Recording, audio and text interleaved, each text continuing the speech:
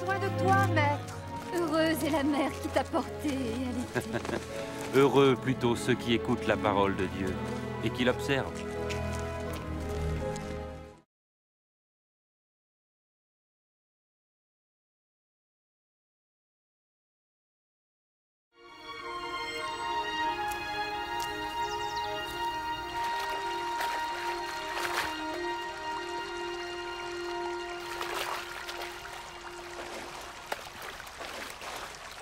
Apprends-nous à prier, comme Jean l'a appris à ses disciples.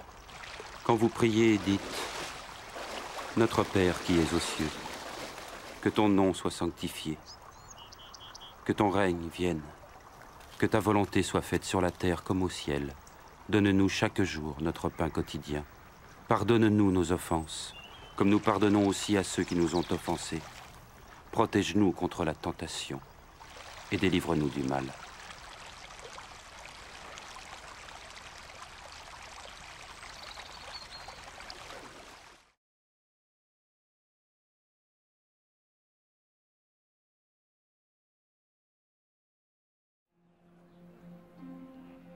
Listen. We are going to Jerusalem, where everything the prophets wrote about the Son of Man will come true. He will be handed over to the Gentiles. They will mock him and treat him shamefully and spit upon him. He will be whipped and killed. But on the third day, he will rise.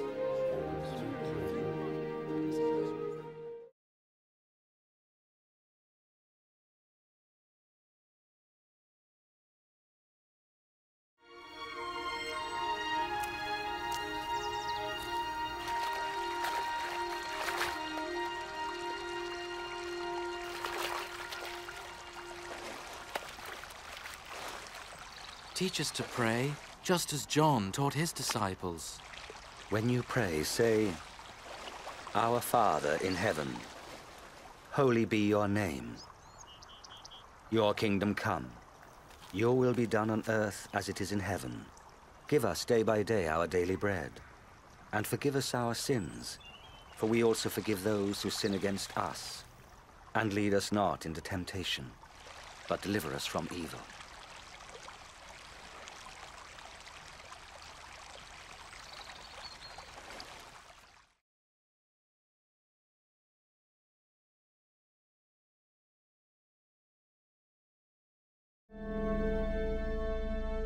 Then something amazing happened to two of the disciples. They excitedly came back to the others.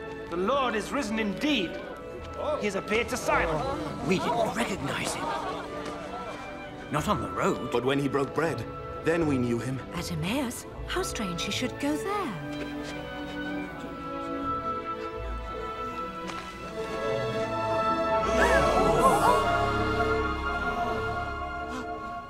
Peace be with you.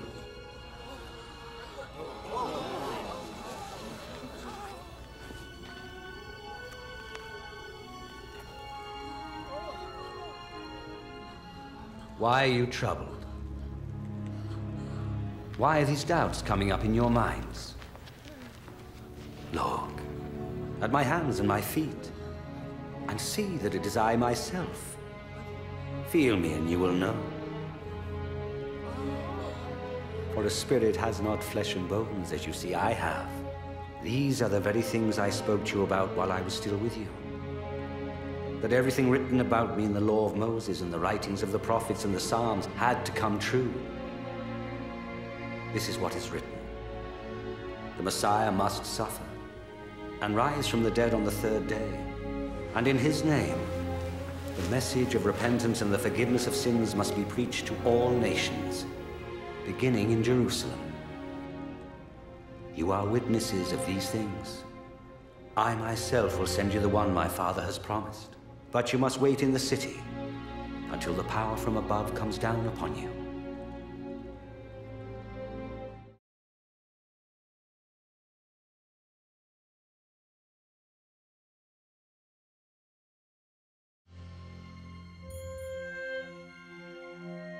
In the Holy Scriptures, God declared the Messiah would come to be the Savior of the world. The life of Jesus gives evidence that he is indeed the one the prophets spoke about. Isaiah prophesied that the virgin will conceive a child and will give birth to a son. Centuries later, the birth of Jesus was the fulfillment of that prophecy. The Holy Scriptures declared that the Holy One to be born would be called the Son of God. This means that Jesus was to be called the Son of God in a spiritual sense. We see this in how he lived his life. He healed people from disease, forgave their sins, turned them back to God, and promised them a place in God's eternal kingdom. He offered himself as a sacrifice for sin in their place, and then rose again conquering death. Jesus said, No one can take my life from me. I lay it down of my own accord. The life of Jesus not only fulfilled the writings of the prophets, but also confirmed the truth of God's holy word. The prophets declared, The word of the Lord is flawless. Your word, O Lord, is eternal. Jesus himself said, Heaven and earth will pass away, but my words will never pass away. Jesus came to give us life in all its fullness. But when man disobeyed God in the Garden of Eden, he chose to go his own way, and his actions separated him from the Creator. The Holy Scriptures declare that all have sinned and the payment for sin is death. This means a spiritual death, eternal separation from God. But just as God provided a ram to die in place of Abraham's son, so he sent Jesus the Messiah to die in our place. His life, death, and resurrection restored the relationship between God and all those who put their trust in him. Now, those who follow Jesus not only have their sins forgiven, but are saved from God's eternal judgment. They are assured of paradise and will live with him forever. It is this life and freedom from the guilt and power of sin that Jesus offers each person today. This does not mean following a religion, but choosing to have faith in Jesus, who says, I stand at the door and knock. If anyone hears my voice and opens the door, I will come into him. This means turning to God and trusting Jesus to come into our lives, to forgive our sins, and to make us what he wants us to be. It is not enough to intellectually agree with his claims, nor to have an emotional experience. We receive him by grace through faith, as an act of the will. When people are ready to become followers of Jesus the Messiah, they may speak to him in a simple prayer. Perhaps you are ready now to open your life to God. If so, you may join in the following prayer to him, silently, in your heart. Lord Jesus, I need you. Thank you for dying on the cross for my sins.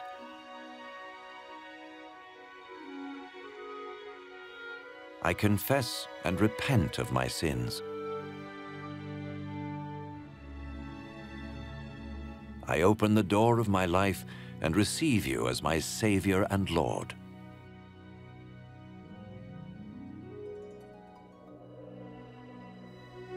Thank you for forgiving my sins and giving me eternal life.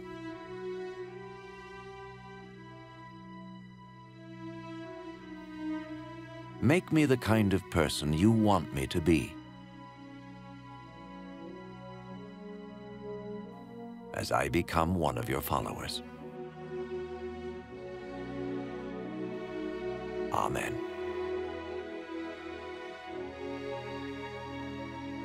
Jesus said about his followers, My sheep recognize my voice. I know them, and they follow me.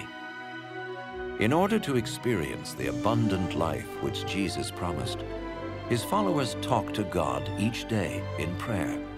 and read or listen to his word. They tell others about him and meet regularly with those who love and follow him. Remember his wonderful promise. All power is given to me in heaven and in earth. Lo, I am with you always, even to the end of the world.